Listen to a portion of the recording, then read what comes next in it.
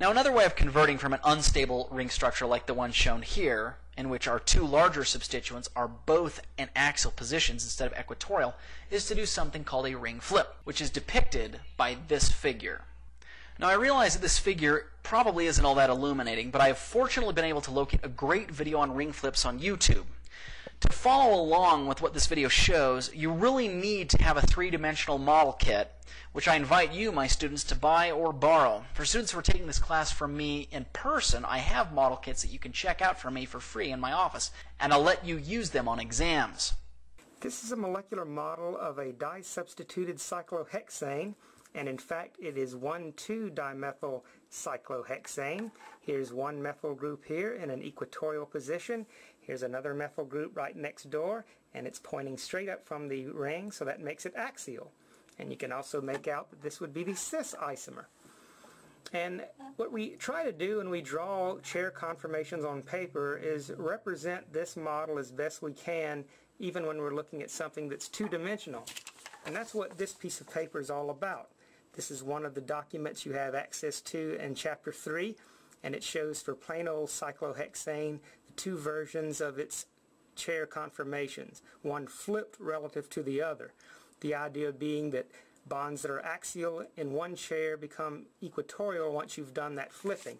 So it's a lot easier to see what that flipping is all about if you actually have a, a model here to manipulate. So if I grab this ring by two carbons that are on opposite sides and one carbon is going to be slightly above the other one, uh, they're not all in the same plane. And if I take the one that's kind of up and push it down and at the same time take the one that was uh, down and push it up, uh, I can accomplish this uh, ring flipping here.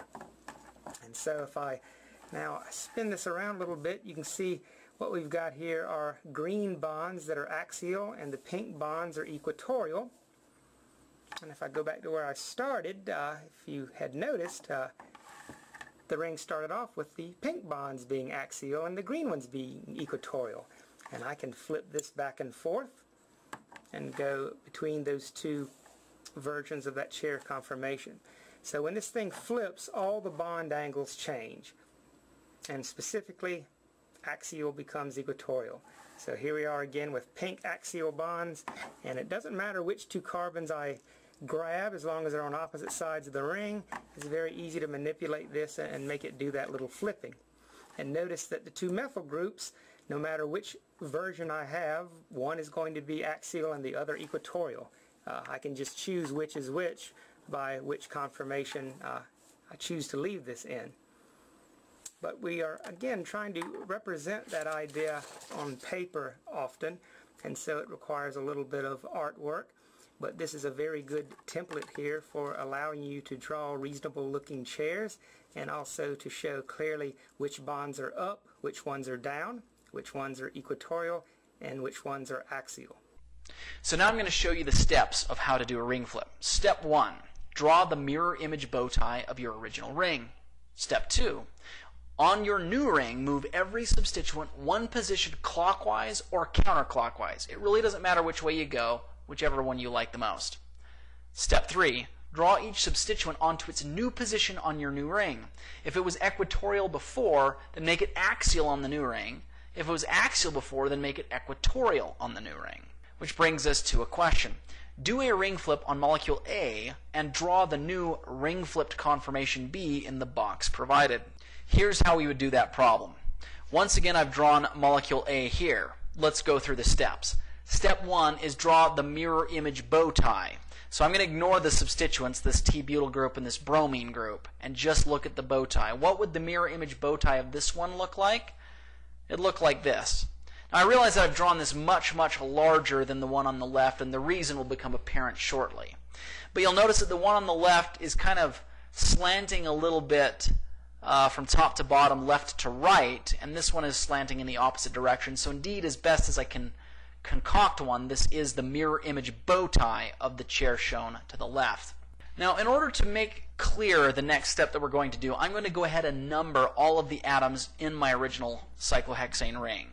Step two of our process is we have to change or shift every single one of these substituents one position either clockwise or counterclockwise. It doesn't matter which one we go. I personally prefer clockwise, so what that means is this. You'll notice that carbon 1 is in the upper right hand corner. I'm going to shift it one position clockwise, which is going to be in the lower right hand corner. Carbon 2 was in this middle position. I'm going to shift it one position to the right or clockwise, which means that it's now going to be in the upper right hand corner. You'll note that all of the rest of the positions follow suit 3, 4, 5, 6. So I follow through with step 2. In order to move on, I'm going to go ahead and draw my bonds on carbons 1 and 3 until I determine which position each of these substituents go on. Now I'll move on to step 3. Step 3 states that I'm going to put every one of my substituents in my first ring at their new position if they were equatorial before, then I switch them to being axial in the new position, in the new ring. If they were axial before, then I switch them to being equatorial in the new ring. So let's take a look at this. You'll note that bromine here is equatorial and it's pointing down. Where does it go? Well, of course, it's attached to carbon 1. It was equatorial in my ring on the left, hence it's going to be axial my ring on the right. It is also axial down. Note that the direction doesn't change. It was pointing down before, it was down equatorial. Now it's still down, it's just down axial. Now we'll look at this T-butyl group. You'll note that it is equatorial in this ring, and it's equatorial pointing down. So where in the world does it go? Well, it's still going to be attached to carbon 3. It still has to point down, but you'll note that now carbon 3's down is axial. So that is where my tert butyl group is. Now, the reason I drew this whole ring so large is because I couldn't really fit a tert butyl group in a line bond format here, so I had to draw it out. This brings me to my next and final question. Do a ring flip on molecule C and draw the new ring flip conformation D in the box provided. I'm not going to provide you with the answer, but we'll let you instead do it on your own.